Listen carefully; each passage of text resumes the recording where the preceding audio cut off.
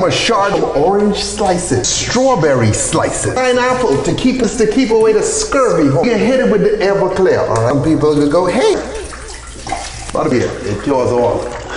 Next touch of Mexico. A four. This the best thing in the morning. You little thing. Come behind with a little vodka. Can we get a tornado? It's an absolute tornado. Just to keep her tropical. But this clean, okay? Time again, okay? If at first you don't succeed, keep it a color, okay? Okay? Red says. It literally is seven. You get all one time, okay? Everyone's peeing. Yeah, that's what it's supposed I want you to notice something strict. Just place them right there, okay? Notice I'm stopping. Why am I stopping? Come here.